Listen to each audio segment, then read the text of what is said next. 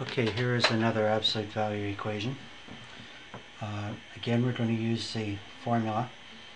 Um, so this e e either equals the opposite of x plus 2 or it equals x plus 2.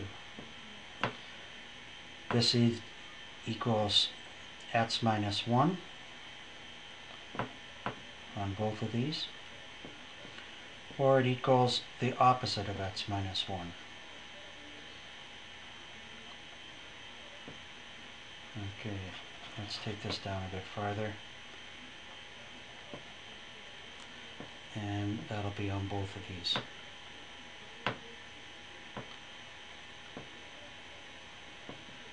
Okay, so we end up with four possible equations to look at. And we have to find out what thing satisfies all of these possibilities. Okay, this is the opposite of x, the opposite of 2, plus x minus 1 greater than 3. These guys cancel. We end up with negative 3 greater than 3, which is never true. Here we get x plus 2 plus x minus 1 is greater than 3. So we get 2x uh, plus 1 is greater than 3. Take the 1 to the other side.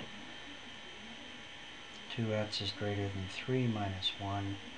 And we do come out with an answer this time when we divide both sides by 2. We get x is greater than 1. This one, the opposite of x, the opposite of 2, the opposite of x, the opposite of negative 1 is greater than 3 negative 2x minus 1 is greater than 3. Negative 2x is greater than 3 plus 1. And now if we divide both sides by a negative, please remember that that is going to switch around. And this will give us x is less than, let's divide that by negative, negative 2.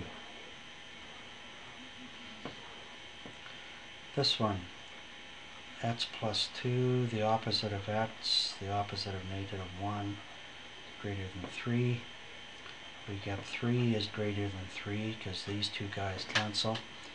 And uh, that never works as well. Okay, so we get two nevers here. And um,